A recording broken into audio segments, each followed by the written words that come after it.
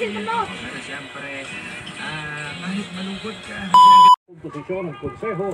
Maliban dito ay sinabi pa ni Lopez na posible rin na ikonsidera ang Department of Foreign Affairs na isulong ang pagpapalawak sa nauna ng provisional understanding doon sa China hinggil naman sa rotation and resupply missions sa Ayungin Shoal at ipatupad din ito sa iba pang uh, maritime areas o kaya naman sa buong area ng exclusive economic zone ng ating bansa matatandaan na sinelyuhan ng Pilipinas at China ang provisional o preliminary understanding para yan sa rotation and resupply mission sa Ayungin Shoal. Subalit hindi nakala na wala pala itong visa sa iba pang bahagi ng kargatang sakop ng West Philippine Sea. Kaya nangyari ang insidente sa Escoda Shoal.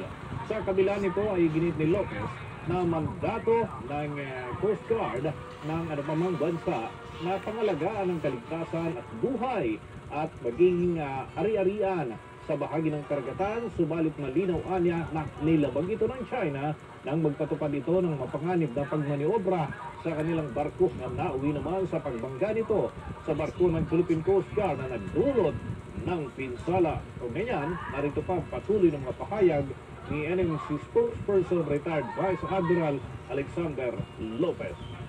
sila mismo yung magpapatupad and yet they were the ones who made these aggressive actions. So, di ba, it's 180 degree, right, of what they are supposed to do and what we have done in, in the night of, in the morning of 19 August.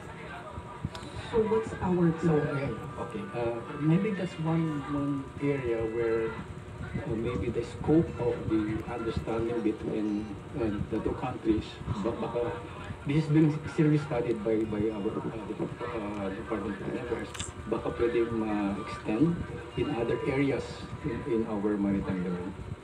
Meaning, Tinagyan ni National Maritime Council spokesperson retired Vice Admiral Alexander Lopez. Bombo International News.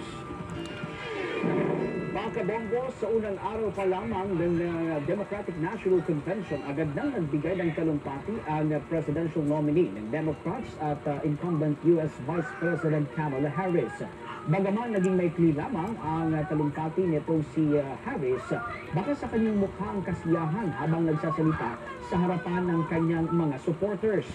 Unang pinasalamatan ni Harris si uh, U.S. President Joe Biden dahil sa tinawag nitong historic leadership. Binanggit din ni Harris ang aniyay napakaraming nagawang Biden para yan sa Estados Unidos sa loob ng mahabang panahon na kanyang pagsisilbi mula sa pagiging mambabatas hanggang sa maging pangulo ito. Kaugnay niyan, narito ang bahagi ng pahayag ni uh, uh, Vice President Kamala Harris. This is going to be a great week.